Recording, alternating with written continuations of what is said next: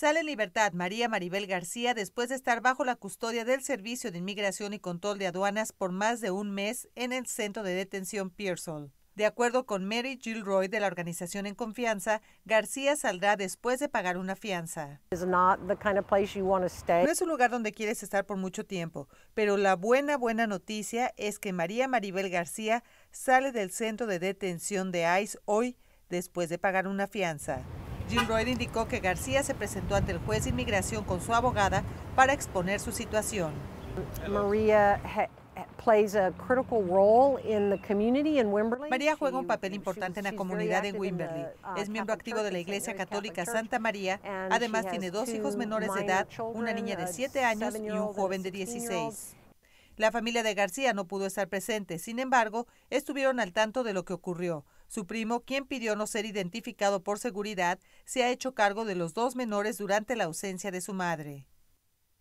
Muy contento, ya, ya, ya pasó más de un mes que estábamos esperando esta noticia y pues bendito sea Dios se nos concedió el, el milagro de que, de que María ya esté libre para en primera salir de ese lugar tan diferente y, que se reúna con sus niños que, buena falta les hace a, ella como madre y, a sus hijos.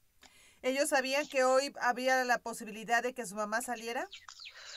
Sí, sí, de hecho sí, sí sabían, este, y pues igual estaban como nosotros, nerviosos, este, contentos, este, esperando, pues ahora sí que la, la buena noticia.